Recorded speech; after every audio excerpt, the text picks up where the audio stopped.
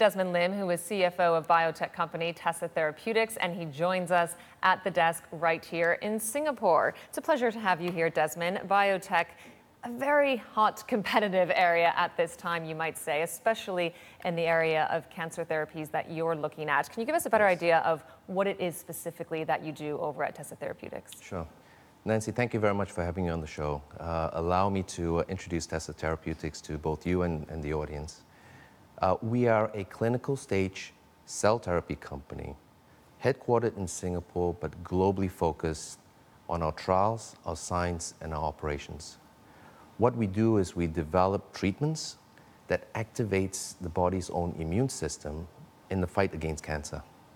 How we do that is on our core technology platform, by selecting the patient's own T cells, growing and activating them, the selection of the T cells, which in our case is the virus specific T cells, our treatments have shown that they are efficacious, safe, and persistent in our patients, differentiating us uh, in the cancer challenge, uh, especially in solid tumors, which are the hardest, which we are in.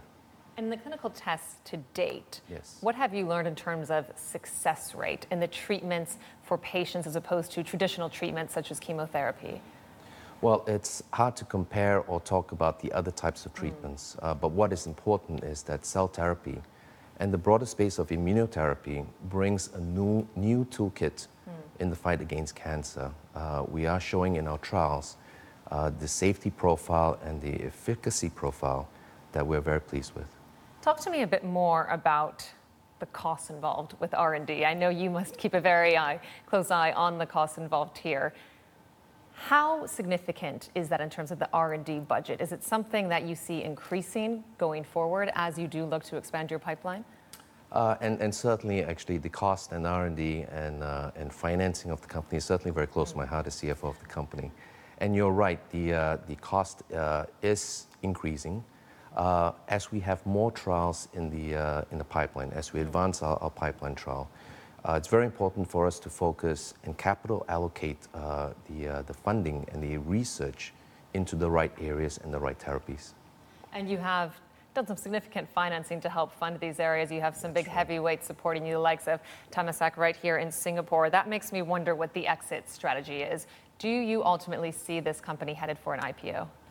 Uh, we are very pleased by the, uh, the financing round that we closed earlier this year, uh, led by Temasek. It was a 130 million financing round. We're well funded with that, with that round. We're uh, well funded to advance our clinical pipeline, but also to grow our manufacturing capability and capacity. in the future, I'll keep all of our options open, be it private or public, as we continue to advance our clinical trials expensive would this kind of treatment be for on the market? If I wanted to go with my doctor to receive this kind of treatment, do you have that indication yet? Uh, for Tessa Therapeutics, we, uh, we don't. It's, uh, we're still in the early stage in our, in our thinking process. Uh, we're still in the early uh, and, and late stage in phases, uh, phase two and three clinical development. So it's not something that we've spent too much time thinking on, but focusing on the, the trials that we have on hand and moving into regulatory filing and approvals. Desmond, thank you very much for your time. We look forward to watching your progress over at the company. That is Desmond Lim of Tessa Therapeutics with us.